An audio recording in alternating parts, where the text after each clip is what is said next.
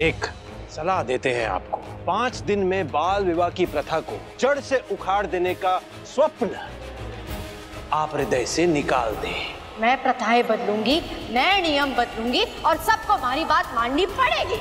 और लोग आपको क्या कहेंगे? तानाशाह। माननीय मंत्रीगण जो जो हमारे साथ हैं हमारे साथ खड़े हो जाए। तख्त पे कोई भी बैठे सत्ता हम ही चलाएँगे। For more updates, subscribe to our channel, click the show links and enjoy watching the videos.